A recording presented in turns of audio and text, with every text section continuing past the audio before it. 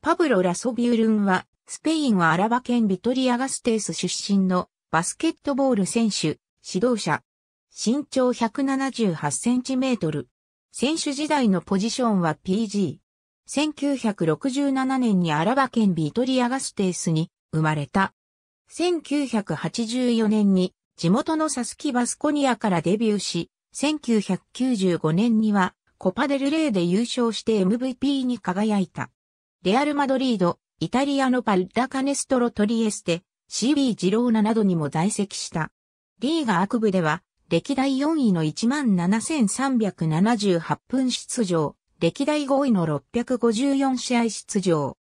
2896アシストと1219スティールを記録しており、歴代最多アシスト記録、歴代最多スティール記録保持者である。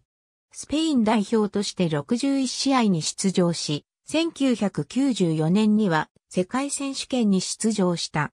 現役引退後には指導者となり、2008年には2部の LEB オロに属していたギプスコア BC をリーガ ACB 昇格に導いた。2011年にはレアルマドリードのヘッドコーチに就任。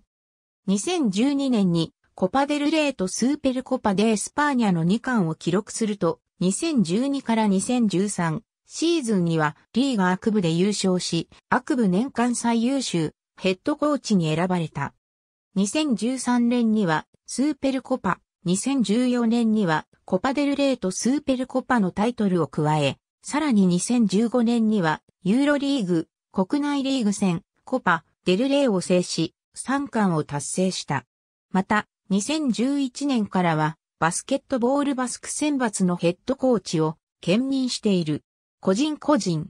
ありがとうございます。